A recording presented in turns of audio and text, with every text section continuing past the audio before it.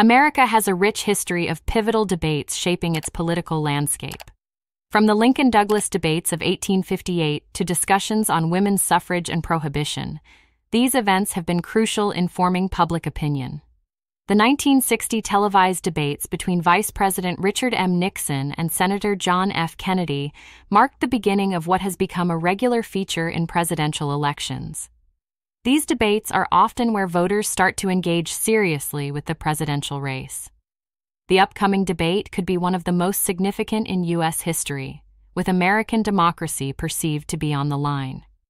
Two scenarios could alter the course of the election dramatically. In one, Joe Biden could defy expectations, presenting himself as lively and sharp, contrasting with a potentially bewildered and aged Donald Trump. This could rejuvenate Biden's campaign. Alternatively, Trump might dominate the debate, highlighting Biden's age and possible cognitive issues, potentially securing a decisive victory. If you liked the video or got value from it, drop a comment with your thoughts. Thanks for being awesome.